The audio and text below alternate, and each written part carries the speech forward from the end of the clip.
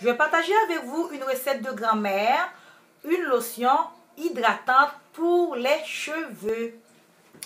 J'utilise 17 bouquets de romarin, 17 bouquets de romarin, 2 sachets de thé vert.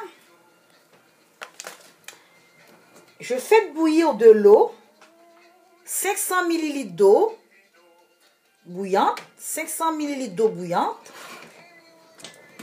Et j'ajoute les deux paquets de thé vert.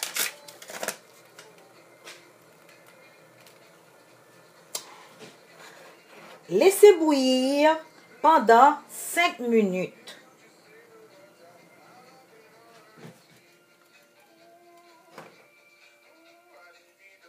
Pendant 5 minutes.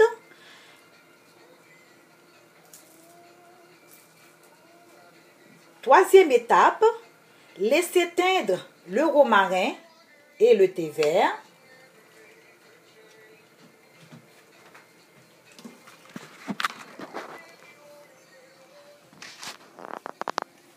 Laissez teindre le romarin et le thé vert.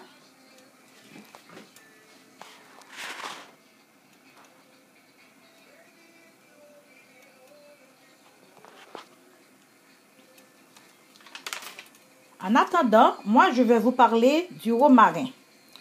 Les autres bienfaits du romarin. Le romarin permet donc d'activer les fonctions digestives, soulager les maux de tête, combattre les effets du stress et de la fatigue, traiter l'inflammation des voies respiratoires, oreilles, nez et gorge.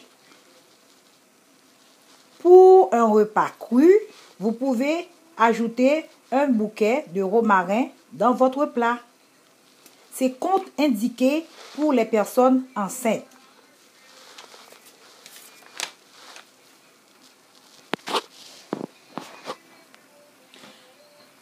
Ce lotion hydratante fortifie les cheveux, surtout les cheveux ternes. Et ensuite, ça donne du force à vos cheveux. Alors, maintenant, je vais fermer le feu. Et j'ai oublié de vous dire aussi, avant d'ajouter les deux thés verts dans votre eau bouillante de romarin, vous pouvez prendre une tasse de thé romarin et vous pouvez en utiliser deux tasses de thé de romarin par jour. Ça combat le stress et la fatigue. Là, maintenant, on va regarder. Ça bouillit et ça a beaucoup éteint. Beaucoup, beaucoup, beaucoup.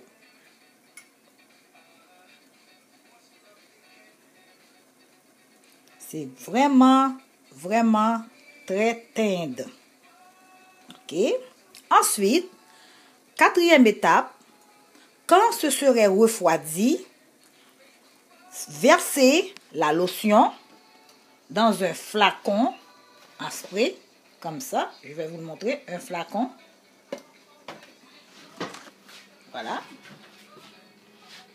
Versez dans un flacon à spray. Et vous allez les utiliser, ce lotion hydratante stimulant pour les cheveux, tous les jours, matin et soir.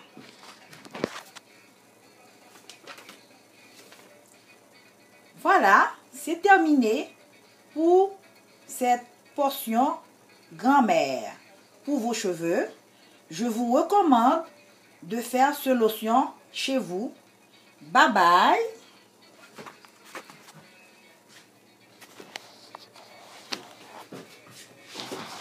À la prochaine.